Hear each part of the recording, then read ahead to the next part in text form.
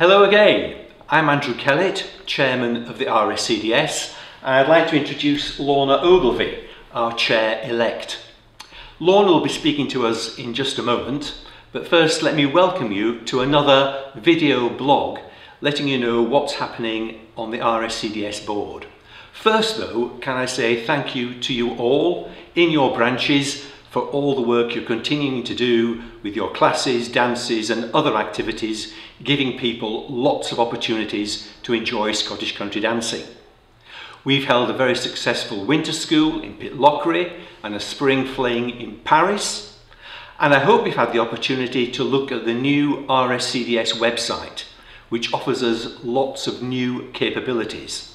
There's still work to do, but I hope you can already see some improvements. We're busy preparing for summer school and it's certainly not too late for you to book your place there this year. Do come to St Andrews, it's sure to be a wonderful experience. Even now, we're beginning to think about our AGM in November. As always, there'll be positions on the board and on the committees, and we'd welcome applications from members everywhere to help us run the RSCDS. Also at the AGM, the board will be proposing a motion to reduce the amount of money that members pay annually to the centre, with the aim of making more resources available to you in the branches to support and encourage Scottish country dancing wherever you are. And thinking about the AGM, that's really Lorna's area of business.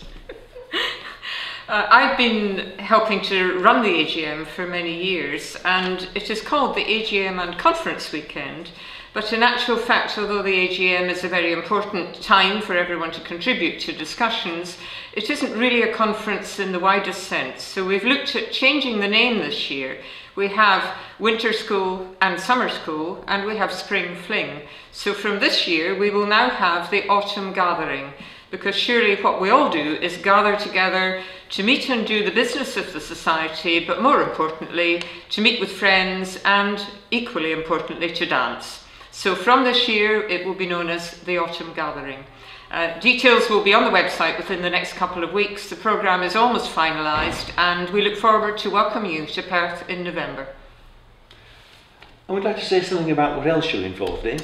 Well, the other remit I've been given since I took on chair-elect in November is to chair the Centenary Committee. The RSCDS celebrates its centenary in 2023 and I now have a fairly large working group with representation from the office, from the board and from members and branches around the world.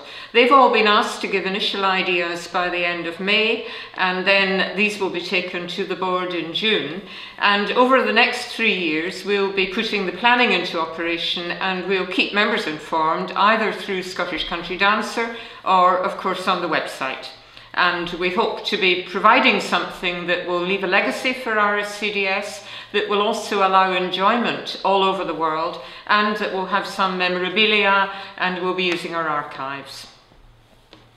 Excellent. Something for us all to look forward to. Yes. For now, cheerio. Bye-bye.